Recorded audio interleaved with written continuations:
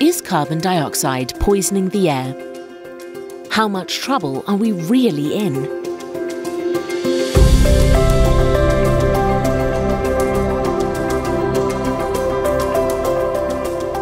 If you don't understand CO2 and our atmosphere, these seem like plausible questions. The truth is, Earth is finally emerging from historically low levels of carbon dioxide. Without the industrialization of the past 170 years, we would be struggling to feed the burgeoning population of our planet. Here is why. CO2 is a miracle molecule it is a rich plant food that is essential to all life on Earth. Without enough CO2, plants die and all life perishes.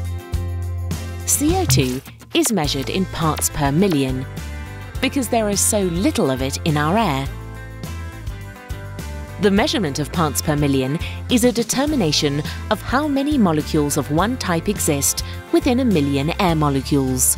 For example, a reading of 420 ppm of CO2 means that an air sample of a million molecules contains 420 CO2 molecules. So let's look at the numbers for CO2. Below 150 ppm, most plants die. Earth nearly crossed that line of death around 18,000 years ago during the depths of the last ice advance. The warming that ended that ice advance caused the oceans to expel CO2 and increased levels to about 280 ppm.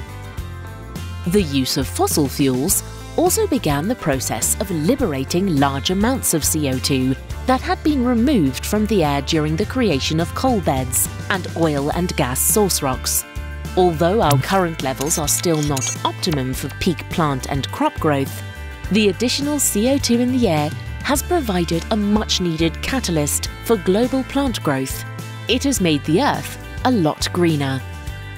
And the continued use of fossil fuels will further accelerate the fertilizing effect carbon dioxide supplies. Nearly all crops, including winter wheat, corn, potatoes, soybeans, sugarcane, and rice, have all experienced record setting production levels since the 1850s, thanks to more CO2, warmer temperatures, and the use of fossil fuel derived nitrogen fertilizer. Forests are expanding, deserts shrinking. Growing seasons have been lengthened and crop production has skyrocketed.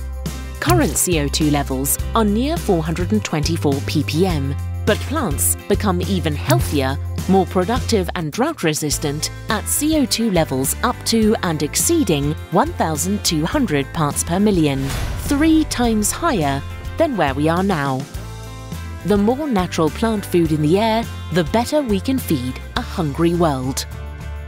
Net carbon zero is a dangerous goal.